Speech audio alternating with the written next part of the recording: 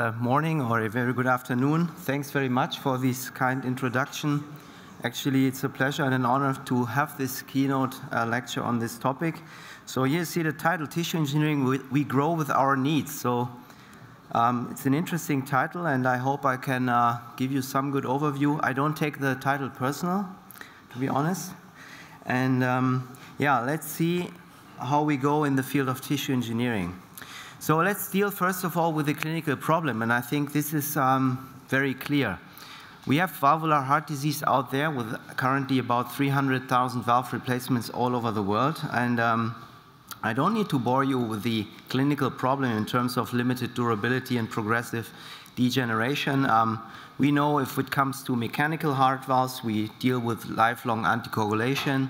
We know when we implant a bioprosthesis, we deal with degeneration and at best the, for example, Edwards Perimount, now looking at 22-year follow-up, but we can do better. And then the problem, um, how do we deal with younger patients? And most importantly, you may be aware of the recent TAVR trials, also Surtavi and partner uh, 2B, where we look into an extension of indication towards younger and mid-risk patients. Then we have the big field of congenital heart disease, which is uh, also of high importance because here we have the fundamental problem of growth. And how do we deal with that when the uh, patient or the child is outgrowing the prosthesis requiring reoperation? So first of all, there's, I think we would all agree on a clear need that we need something that is able or capable to repair, to regenerate, and to provide growth capacity. So what's about all that with regenerative medicine? And uh, here you see the original science cover from 93. So this is nothing completely new. This is out there a while. We are, um, we are looking at about 25 years or even more on that. And actually, Langer and Vacanti, here you see that in the content, um, were reporting on tissue engineering in 93 the principles and the overall paradigm. And you see also on the cover, maybe it's hard to read, even at that time, they dealt uh, very intense with biologically based therapies such as gene and cell therapy. So regenerative therapy is something that is out there for, for many years. And obviously, we had some issues also in translating these technologies into clinics. And then also the PNAS journal, 10 years later, put that on its prestigious cover page. Here you see regenerative medicine as uh, named uh, the term, so to speak. This was in 2003. And nowadays, it's all over the place. When we look at um, different disciplines, and here I have just assembled a couple of pictures to um, illustrate that, we look into uh, skin uh, regeneration, nerve regeneration. We have a lot of um, programs running in the abdominal space, we also deal with lungs, lung regeneration, and obviously also in the cardiovascular field, such as with grafts, valves, cardiac patches, and classical cell therapy. When we quickly look into the paradigm, what's um, basically the key or cornerstones of such approaches, we basically have four parts.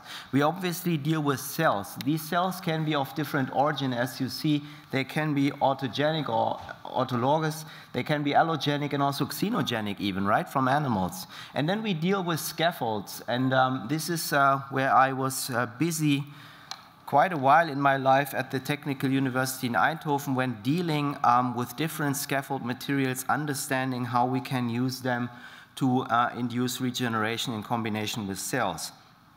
And then there's something that we call the in vitro culture or the uh, conditioning phase. This is like if you were going to a marathon, you have to train. You cannot just run right away you have to train. And that's a sim similar situation as for our prosthesis here. So we put the cells onto the scaffold, and then we train this prosthesis to put it into the body. And in the field of um, cardiovascular medicine, we basically deal with heart valves, blood vessels, but also classical cardiac cell therapy. I will not go into this uh, issue today, but it's also feasible to inject cells into the myocardium, and you know that from the yellow press with mixed results at the moment. So the question for today is, can we engineer regenerative prosthesis for structural and congenital heart repair? And here you see a cover page from a uh, journal in Nature in 2011 where they were naming it Taking Tissue Engineering to the Heart. So I think it's a good title to start off. When we look into um, the past and also the future, it's also quite interesting that Dr. Harkin, a um, pioneer in heart valve surgery, even in the 1950s, and then uh, in uh, 89 actually summarized um, what is fundamental when we design such prostheses. And um, he basically summarized, of course, they have to be durable, they have to have absence of any thrombogenicity, they need to be resistant to infections, they have to have the lack of antigenicity and importantly the potential for growth. So basically what he was stating were the fundamental properties of living and autologous tissues. In this context, in the uh, early 90s, we started the Zurich Tissue Engineering Heart Valve program uh, that actually my boss and um, yeah, long-standing mentor Simon Hoerstrup brought back from Boston into Zurich. And here you see a bunch of publications and, and work we have performed in the different fields over the years. And this was important to us because not only to prove that this is a valid strategy, but also to understand what does not work that good and what um, we would rather omit to translate into clinics. Then um, I would say in 2010, we uh, changed directions from the bench in vitro towards more in vivo assessments. We have a big clinical, a preclinical platform in Zurich, and we extensively assess those technologies also in the preclinical setting as a prerequisite to clinical translation. Um, here you see the overall principle, how that works, and I have outlined that in the paradigm, but in the setting of the heart valve, the ideal approach or the, the, the, the initial approach, so to speak, was the isolation of autologous cells, and we have the next speaker up here uh, in a second talking about that in more detail. And then we culture those cells, we put them on the scaffold, put them into the bioreactor, and then we have the valve out there after a couple of weeks to be implanted into the patient, or as, we, as you see here on the video on the right side, into a sheep model. This was a very first implantation of such a valve using a transcatheter approach, basically a very simple approach, just a tube and uh, crimp the valve into the tube and then pushing it out into the pulmonary circulation. But it worked. And um, it was a good start for us to understand that this is an approach to, uh, that uh, actually uh, qualifies for further investigation.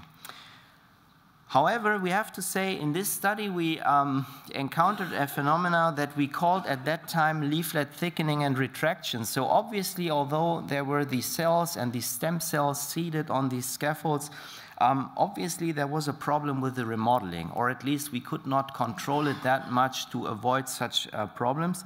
And as you can imagine, thickening is nothing you want to have in your valve in terms of stenosis, and also the retraction was a big issue in terms of its insufficiency. Further, um, obviously, this is a three to six week approach, so is that really viable for clinics? I leave that with a question mark, and we can discuss about that. There are translational challenges, and I think this is we have to understand when we have a beautiful research project, but then want to bring it into a valid uh, clinical therapy. Obviously, what we need from this initial uh, concept that was described by Langer and Vacanti is logistical simplification, and we need to understand guided valve remodeling to ensure long-term functionality, because this is why we are doing this at the very end. So this is the slide actually um, where you came uh, for today, I would say. Cardiovascular tissue engineering towards simplified logistics. It's a busy slide, but it summarizes actually where we are in the field, and I'll try to quickly sum it up for you. We at the moment deal with a very promising uh, um, situation. This is the allogenic and xenogenic tissues. I think we have a speaker here, uh, Dr. Horke from Hanover. This is also, or equals also the Hanover approach. And um, these guys have done impressive work with the ESPOIR program and also the ARISE program on the aortic valve. And um, there's also another company out there called Matrix you heard about that uh, has shown very promising results in, um, in the, the right heart system. But we have to say um, we will see over the time how this will develop on the aortic position. And I think there was a recent um, also critical article from the Mayo Clinic questioning the long-term durability of such aortic valves. And um, the ARISE consortium responded very nicely to that, saying also that decellularization and also the, uh, let's say, mechanistic preparation of such prostheses does matter. So I think it's important to understand um, deceleration of aortic valves. Only time will tell. I very much like this um, editorial, I have to say. Because it is really, at the end, telling us the clinical route for this approach. Then we have synthetic biodegradable polymers, something completely different, something kind of science fiction. You design a polymer in the lab, and this polymer is so smart that when you put it into the body, it attracts the right cells at the right time and tells the cells what to express and what to express in terms of phenotyping. So a pretty interesting approach, very simple because you can make those scaffolds in an abundant availability. And actually, there's a trial out there on pulmonary conduits um, that is uh, sponsored by a company named Xeltis.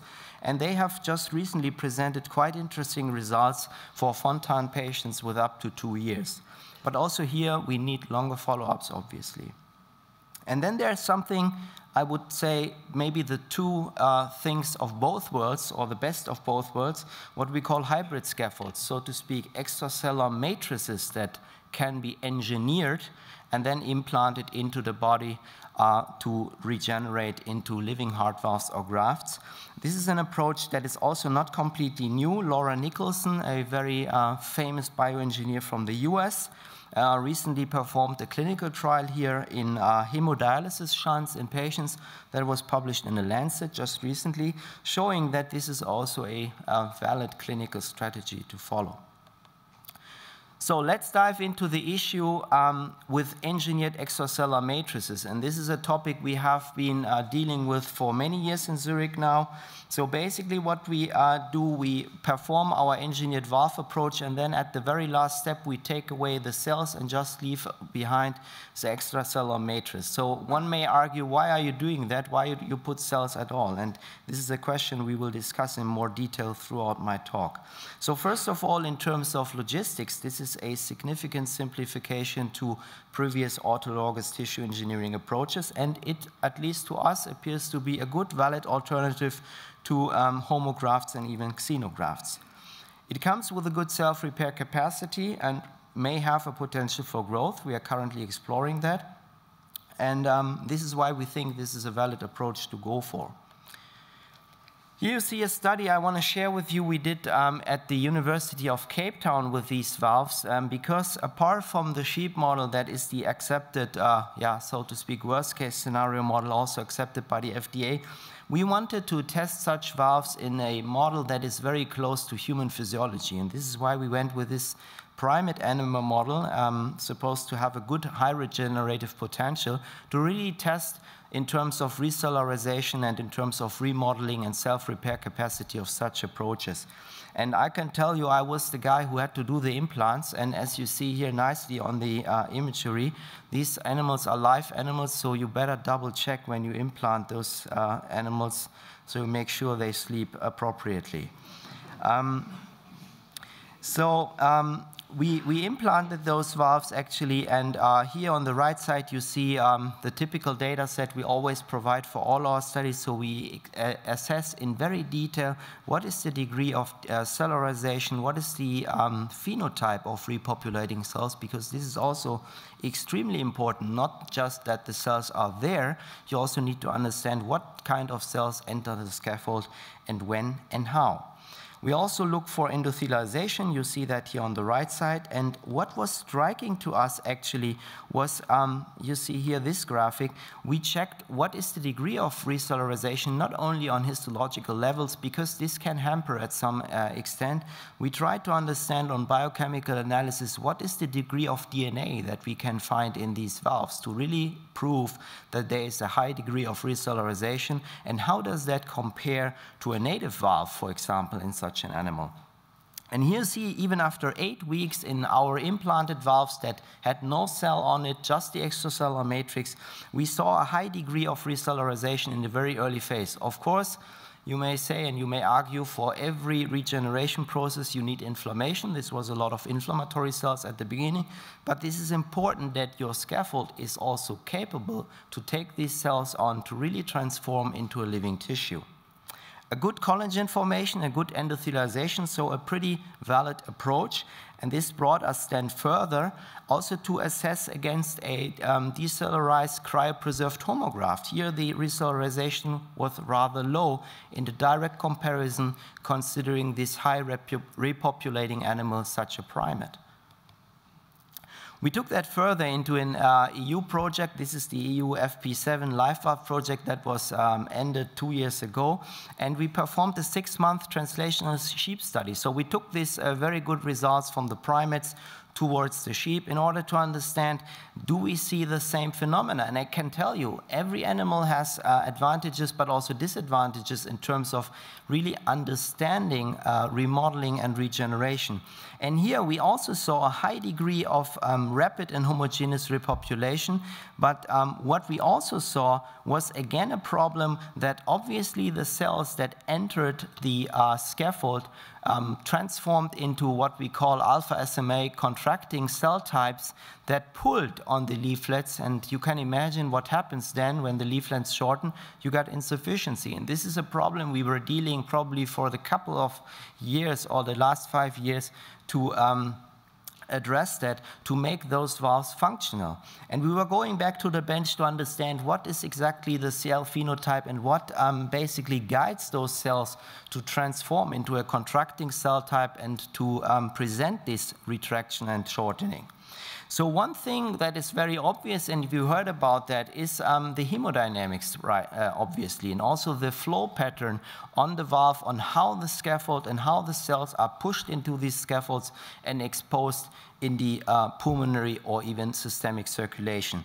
So we took a new approach. Um, this is what we call the LifeValve 2.0, the, uh, or the reloaded approach, where we applied computational modeling to develop a rather rational heart valve design. So we inform the scaffold how it has to look in terms of geometry and how it has to be shaped into such a stent design to really ensure that we can guide the uh, regeneration and remodeling of the valve and we can even predict how the cells will align and how the cells will form the final valve. And this we investigated in a one-year long-term follow-up analysis in sheep. You can imagine this was a very costly experiment to really prove that by that, as controlled by clinically grade imaging such as uh, echo or MRI, we were able to achieve a very good long-term durability of such valve according to ISO norms for heart valves in principle.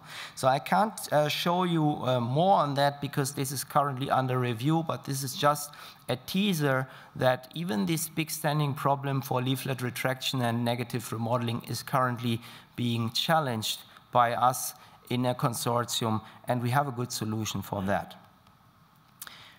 As said, 12 months in sheep, this accounts for about six years in humans, considering the fact that um, they have a much higher cell and calcific metabolism. So also clinical translation may be uh, visible in the near future for such an approach.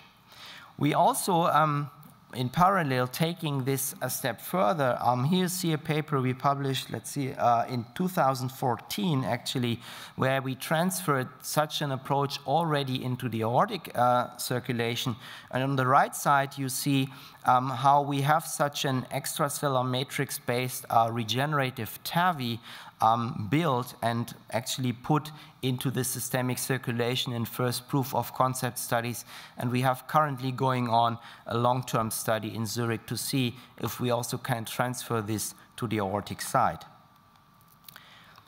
Another project I want to um, quickly uh, put your focus on is, as said, um, a very tempting approach, an in situ approach, and I think we will hear on uh, such scaffolds in more detail by, by one speaker.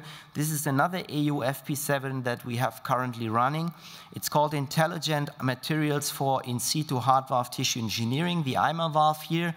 This will be a very um, tempting approach, just putting in a smart scaffold that then should attract the right cells at the right time to transform into a heart valve. We are currently in first animal experiments, so we will see where that brings us.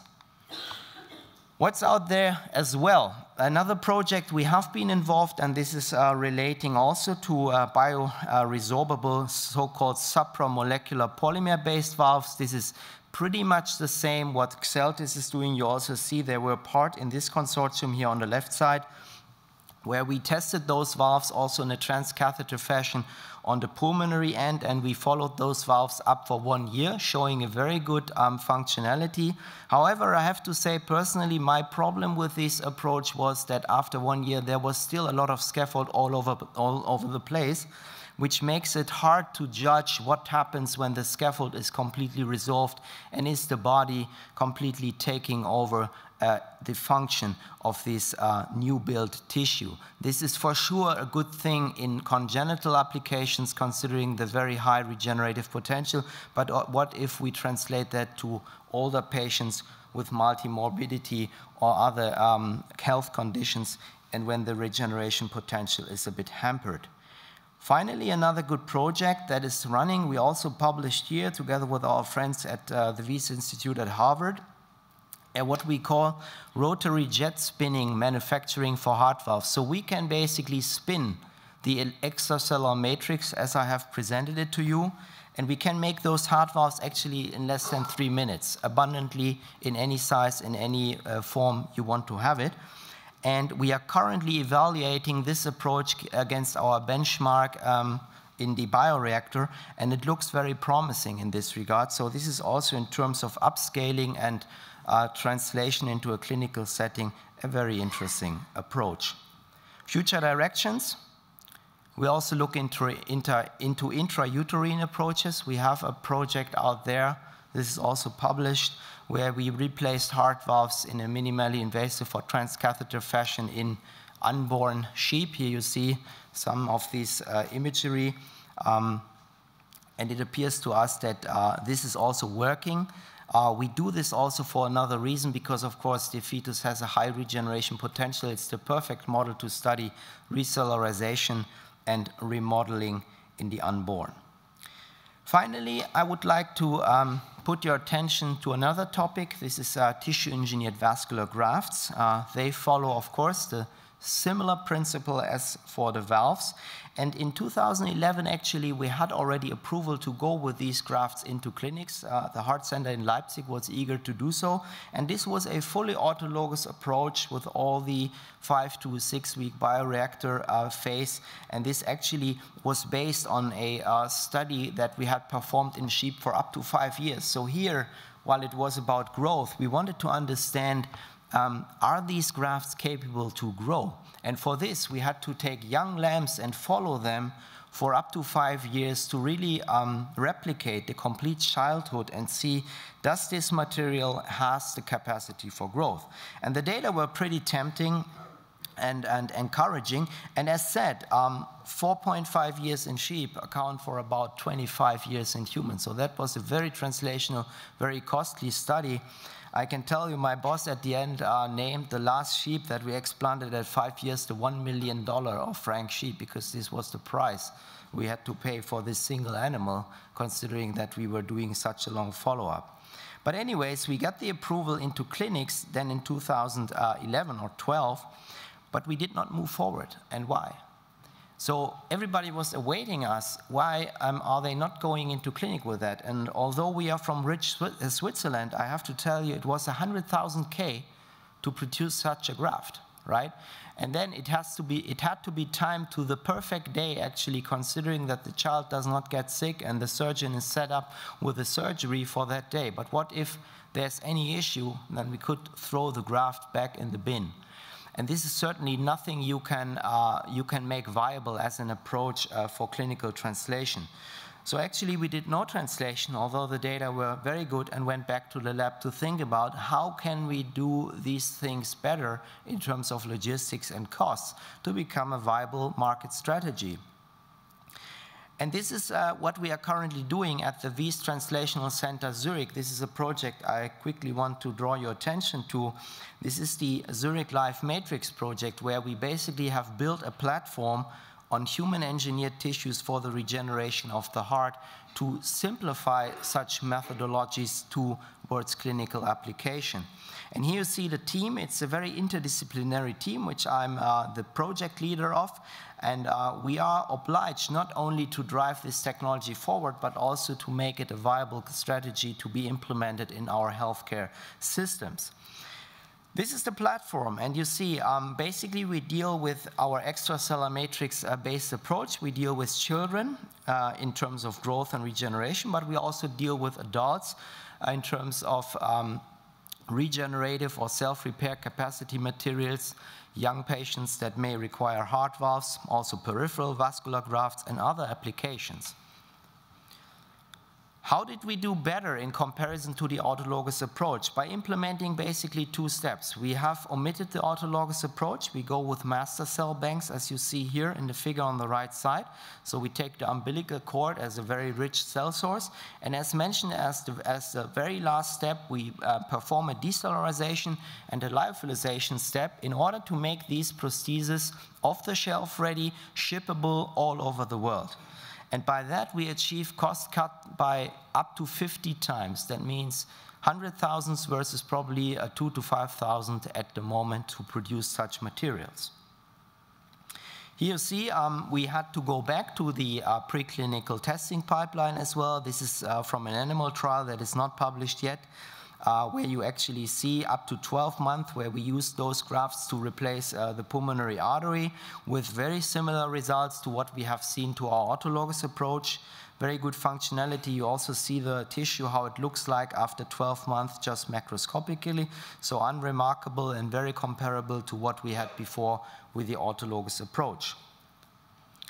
What about growth? And this is obviously a very critical thing because how do we define growth, right? How do we make sure that it's just not dilatation or aneurysm formation or dehiscence or any other phenomena? And we looked into that in very detail. So we followed the lamps here um, very closely doing CT analysis and also echocardiography to really see what is the diameter, but also the overall volume in these grafts and how does that relate to the native tissue. And in our model here, we could display a growth potential from 1.6 centimeter as uh, per implant in diameter up to 2.0 centimeter at 52 weeks, accounting for about 25% in terms of growth. So pretty encouraging, but still needs further validation, and it's the question, does that translate when we go into children's application?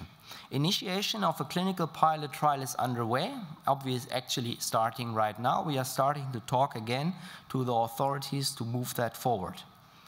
Here you also see how such grafts look like. As you see also, we have a huge um, effort put into that in terms of production and quality control. We have a fully GMP-grade manufacturing environment uh, back in Zurich, which is following the ISO compliance. And as of now, we have probably produced about 350 clinical-grade grafts to be potentially implanted into children, and we are doing further. This is uh, the clinical team, actually, that will uh, lead the first uh, clinical application, our very good colleagues and supporters from the Children's Hospital in Zurich. Uh, that will do the uh, clinical pilot trial, hopefully to start then beginning of next year.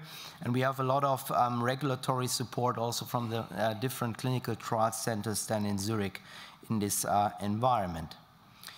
So clinical translation, to sum it up. Um, actually, it's always interesting. You have your basic science discovery and you have all these experimental things out there. But obviously, the most challenging thing is the translation. And even if you strongly believe in your concept and you are totally convinced that's the best, you always have to admit and you have to review carefully, is that really feasible to be translated into a clinical setting?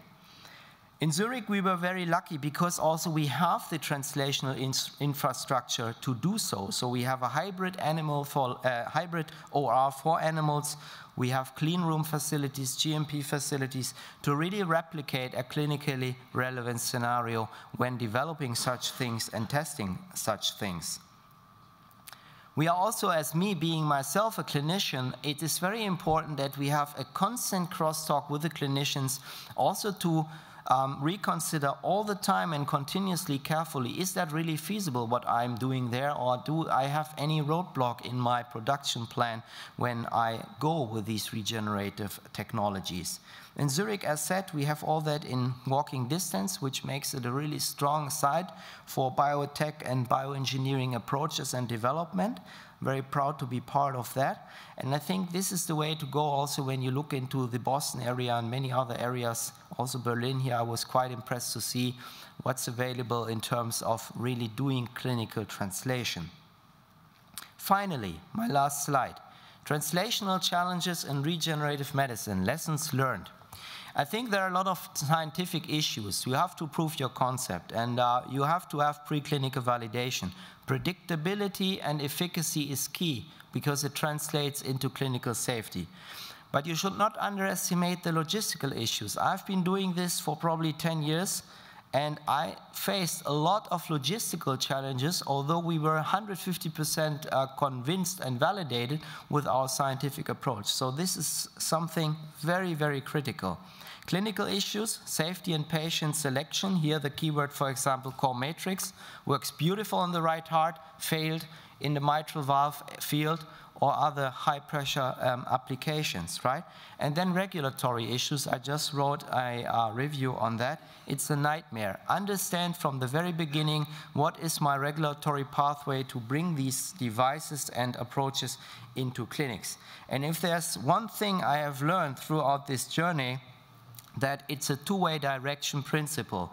Tissue engineered vascular grafts for the use in the treatment of congenital heart disease, from the bench to the clinic, and very often also back again.